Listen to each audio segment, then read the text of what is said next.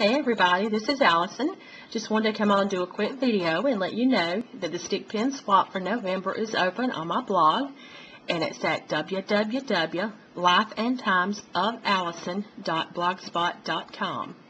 If you're interested in signing up, just leave your name and your email address and the sign-ups will stay open until Saturday and then I'll close them out. If we have enough to sign up, I may just go ahead and do the groups or if we have less than probably 15, it'd just be like an, an individual swap that you would need to make 15 individual pins.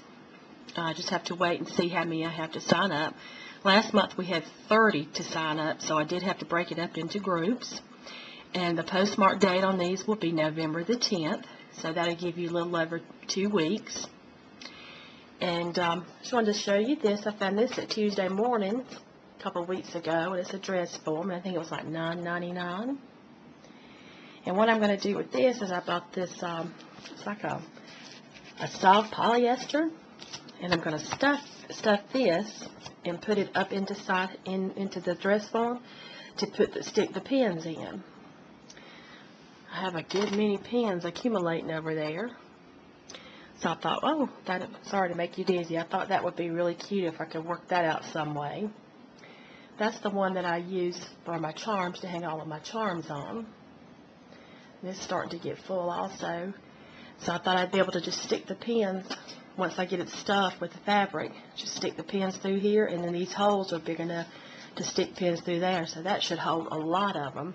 I found that one at Tuesday morning.